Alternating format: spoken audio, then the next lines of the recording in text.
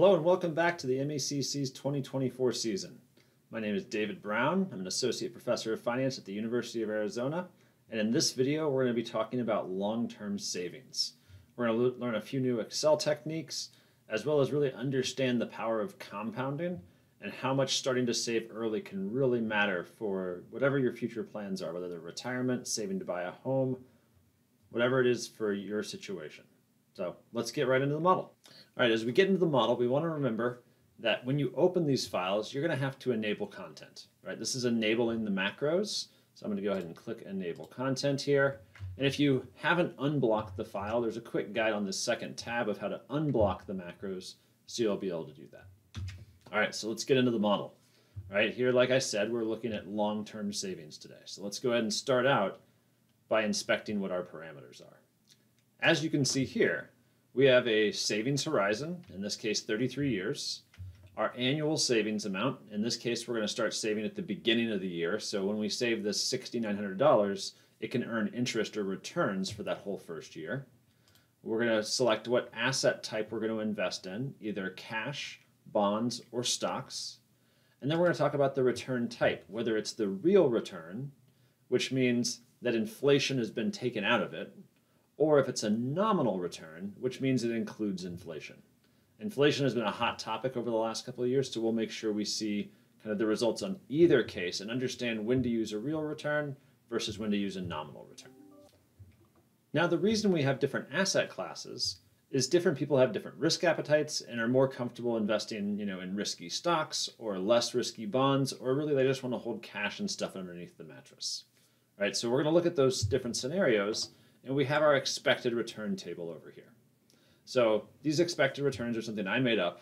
Uh, they roughly reflect history within the United States, uh, but don't take these as necessarily the end all be all and estimated expected returns because these things change over time and vary from year to year.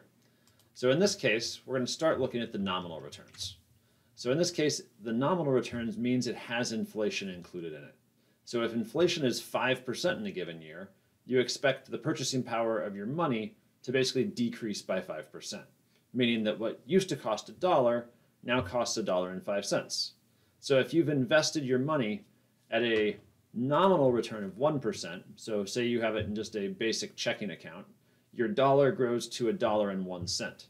In that case, that would be less than inflation. Inflation might be 5%, and even though inflation is built into that nominal return, that means you're actually losing money on a purchasing power basis because that $1.01 can now only buy something worth about 96 cents in the past. So that's going to be your difference between your nominal return and your real return. The real return is basically the return after you take into account inflation. So you can see in this case, our real return is minus 2% if you just hold your money in cash. That again is because your cash loses value over time due to inflation, which means the real return is actually negative. So while some may see it as safe to put your money under your mattress, in that case, it's actually losing purchasing power over time. So it's really not a very safe investment for a long term strategy where you're trying to preserve your wealth and save for something like retirement. So you can see that when we go from cash down to bonds, we have a significant increase in returns to 4% nominal and 1% real. So in this case, you can see that the inflation would be expected to be 3%. And here for stocks, you would have a nominal expected return of 9%, which includes a 3% inflation amount, and 6% on a real basis when you've taken out the inflation. So we're going to use those returns, and it'll be, again, depending on what asset class you decide to invest in. And really the point of this exercise is for you to see how much different the returns are when we look at investing in stocks with higher expected returns versus bonds or cash which with much lower expected returns, and how those differences compound over long savings horizons. So I'll keep coming back to that throughout the lesson, but for now, let's just jump into the Excel file. All right, so our first question here, just kind of warm up to get us going. What's our total savings over the horizon?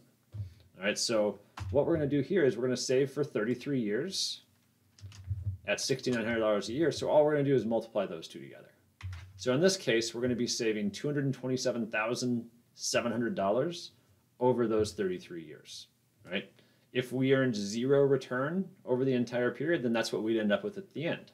However, we want to earn a positive return, hopefully. Hopefully, it's not negative like it would be for a real return in holding cash, but we're going to see those differences play out. Before we do that, we actually have to look up what returns we should use. So here, we're going to do exactly what I just said. We're going to look them up as we could in this table over here. So for example, if we're looking for the nominal return for our chosen asset class, so stocks, then we could go over to our table and find stocks here, and then we find our nominal return here, and we see that the intersection is 9%. So you'd be tempted to just type 9% in here. However, that's not a dynamic formula.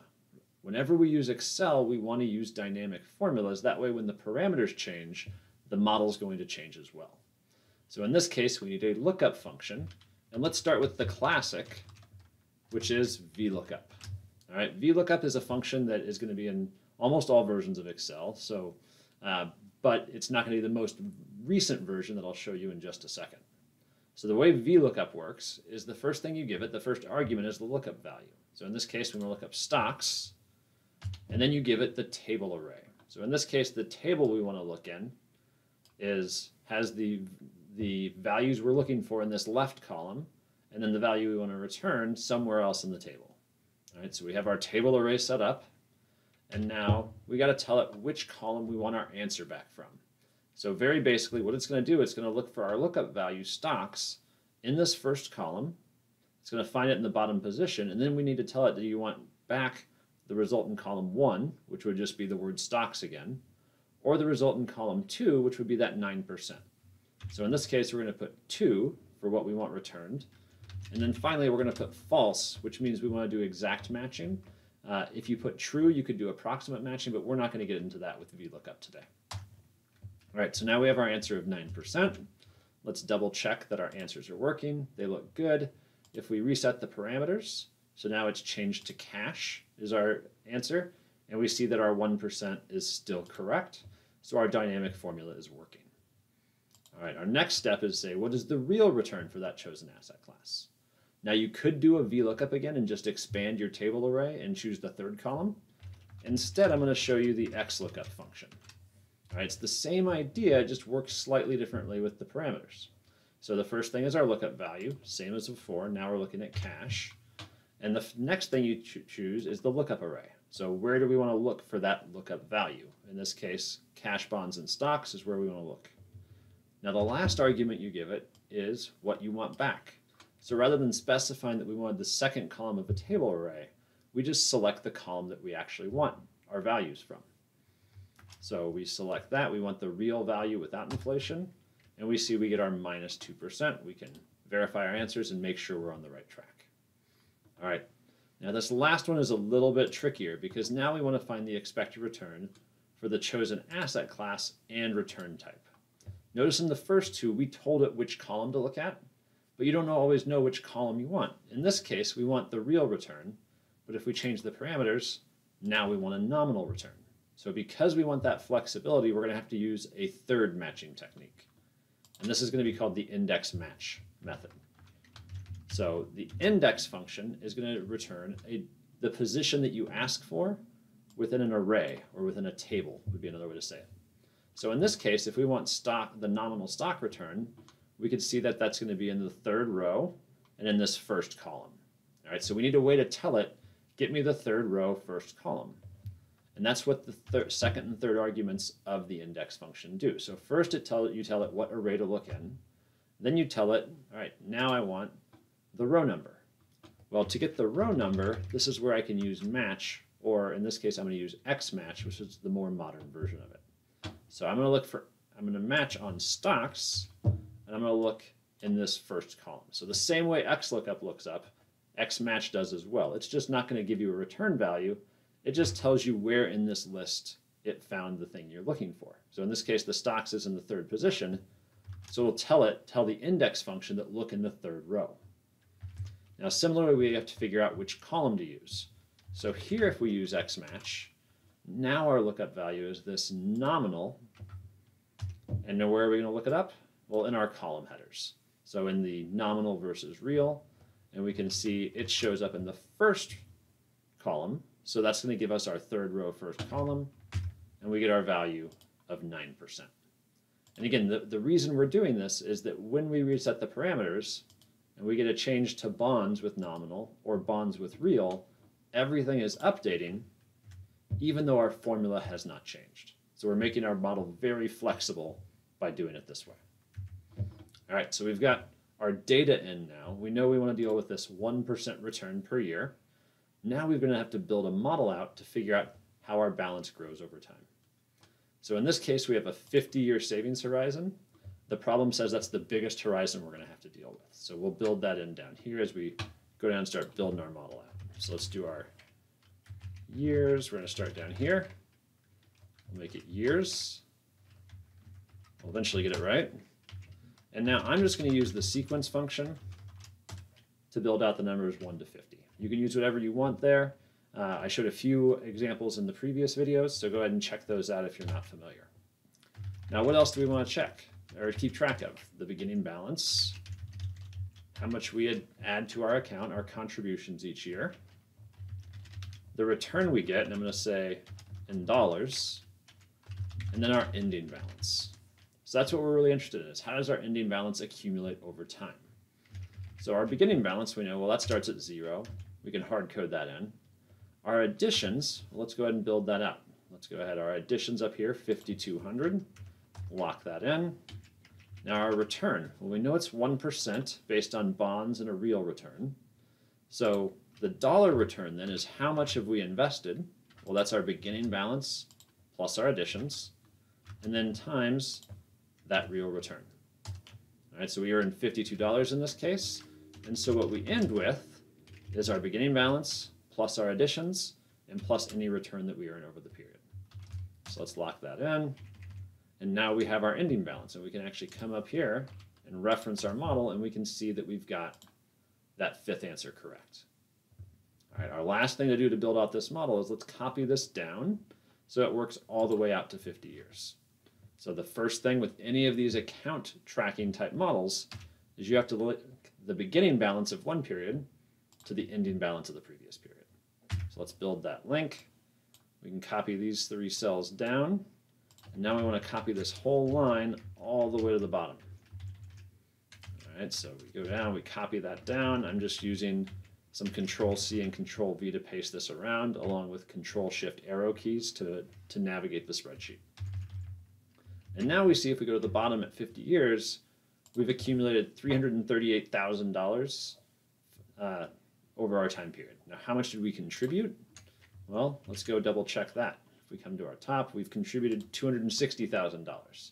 So we've certainly earned a good amount of return over that period, but not exactly what we could earn depending on what asset classes we're investing in.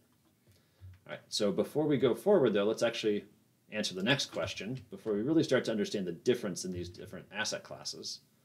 Uh, and that is to figure out what year does the ending balance exceed $50,000? So how quickly do our account, does our account grow? In this case, we see the answer is 10, and visually we can come down here and we see, okay, in 10, yep, it's 54,000. We hadn't reached 50,000 yet in the prior year, so our answer is going to be 10. But again, how do we do that with our model? Well, here, the XLOOKUP function comes in handy again. And what we're looking for, and we don't need a comma there, we just need our $50,000 value. And now we want to tell it where to look for it. So 50,000, we're going to look for it in this ending balance column. And what we want back is the year, so let's come over here and select our year column to return and you'll see that we get a hashtag NAR. What that's telling us is that it can't find 50,000 in this list. And if we look through here, well, it doesn't exist, right? There's no $50,000 value there. There's 49,000 and change and then 54,000. So what we want to do instead is an approximate match. We want to find $50,000 or the next biggest item. So if we come back into our function, we see that the fifth argument, so we skipped one there with two commas, is the approximate match or the match mode. And we want to do one for the exact match or next larger item. And then we get our answer of 10. So one last check to make sure our model is working as we expect it. Uh, what's the cumulative dollar return over the savings horizon? Well, there we just need to add the sum of all of our returns up and make sure that that works. So we'll come back up, we'll verify our answers. We see that they're working. All right, so we checked our answers. We see that everything is working. Uh, let's go ahead and reset parameters to make sure everything's okay. We get a 38 number of years. Let's verify answers. And we actually see we're off now. So let's see if we can see what happened. In our case, we think we should have $4.8 million, but the answer should only be 1.56. So if we scroll down, we see that we're adding up too many returns. We should stop at period 38, but we have returns over the next 12 years. So we built our model here for a 50-year horizon, not to adapt to shorter horizons. So we do have to make a little bit of an adjustment. So let's go back up to our top cell. And we got to add our additions, but only do it when we're actually in that savings horizon. So let's go ahead and use an if statement here. So we're going to say if the year that we're in, in the model, is less than or equal to our savings horizon, lock that in with F4, so we have our dollar signs, then we're going to go ahead and have an addition. Otherwise, we're going to add zero.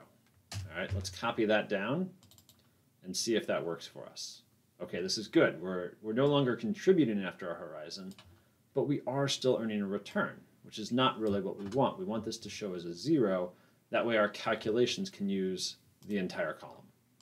All right, so in that case, let's do the same thing with that if statement. So let's say if years less than or equal to our year here, then we're going to do our calculation. Otherwise, let's leave that at a zero. All right, if we copy that down, we see our early numbers don't change. The later numbers all become zero. And now we see that our answer matches. So this last section is going to look at what our account balance can do over time if we just compare real returns in cash versus bonds versus stock. And the reason we're looking at real returns is that's what we care about in the future when we're buying things. A real return takes inflation out meaning it adjusts basically for present day dollars. So if we think about something we can buy for $10 at the grocery store, then we can think about those same $10 buying the same thing in the future as long as we're using those real returns. So in this case, they're going to be lower because they don't include that inflation amount. And so let's look at our real returns. And so now we're going to have to model out cash, bonds, and stocks, even though our problem in this case is asking for bonds with a real return. Right? And again, if we flip this around, we get cash with nominal, but really, we want to be able to compare apples to apples, so that's why we're going to do cash and real returns, bonds and real returns, stocks and real returns. All right, so now to build the next part of our model, we want to remember that we've already got a model that works here. We just need to copy it and reuse it a few times. So here I'm going to create three copies of this model. That way we can build this once for cash, once for bonds, and once for stocks. All right, so to adapt it now, all we really have to do is update the return we're pulling from. So in this first case, we want to change the return here to the nominal return, sorry, the real return on cash. We make that update, double click to copy it down. We'll make a little more room here. so we can see more. And now we're going to do the same thing over here. All right, we have our 9%. Let's grab that and we're to drag it over to our real return on bonds. And then finally, we're to do the same thing here. Let's take our 9%. Let's drag that over to our real return on stocks. And now we should be able to copy both of those down and make sure our balance is looking okay. I'm going to also, let's just take some decimal points off of these so we can see everything that we're working with.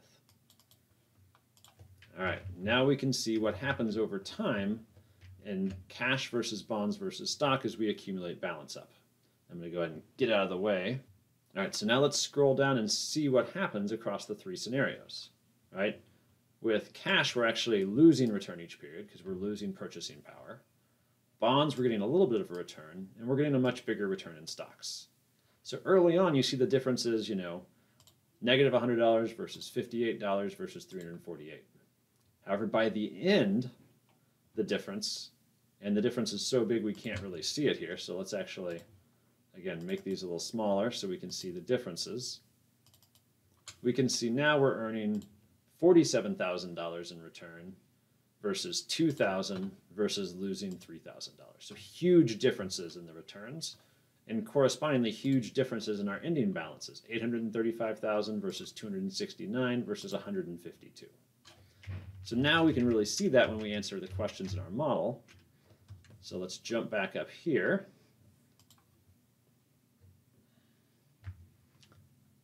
And now we can answer the question, if we use real returns, how much more would you have at the end of your savings horizon investing in bonds versus cash? So what we need to do is just a simple subtraction. So let's get the ending return for bonds minus the ending return for cash. And notice the way I've set the model up here is we can always use the year 50 value. Because it's not changing once we stop saving, we don't need to use something like a VLOOKUP to look up the, the particular year that we're ending in. Right, so we get our answer of 116,000. Now we can do the same thing for stocks. So let's come down. We'll get that stock value. I'll get out of the way so you can see what I'm doing. We do that minus the bond value. And we get our check answers here, and we can verify answers again, and it looks like we're doing okay. All right, the last two things are what about our percentage return? So let's look at our percentage return if we invest in cash. So to get a percentage return, we can just take what we end with divided by what we started with. So we already calculated that number of 220,000 in this case, and then subtract one. Right? If we don't subtract one, we get a 69%, which means you have 69% of your original balance. So if you want to return, let's subtract one off, and you see that you actually lost 31%, which is the same as retaining that 69% of your starting balance. So now similarly, let's do the same exercise with stocks.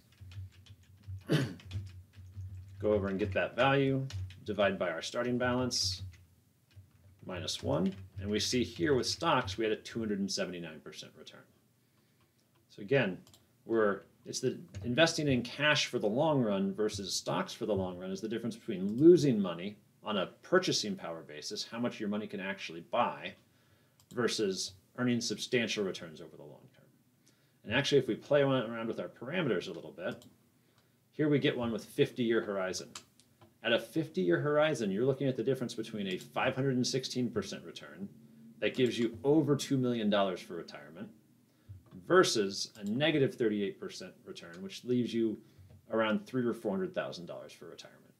Those are big differences in numbers, which shows you the value of investing in the stock market for the long term. Thank you very much for joining me for this installment of the MECC Challenges. I hope you learned a little bit about how long-term savings accumulate, the power of that compound interest, the fact that our savings are growing on itself year after year after year, and how important it can be to invest at higher expected returns in things like the stock market uh, versus safer bonds or cash that while safer in the short term can actually be riskier in the long term because of the low rates of return and the potential of inflation to eat away at the, the purchasing power of your money. Now, what we didn't model here is the actual riskiness to see how big the ups and downs can be in stocks, which can be substantial.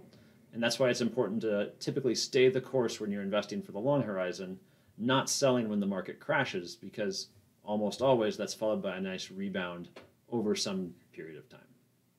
Thank you again for tuning in, and I hope you're enjoying the MECC challenges.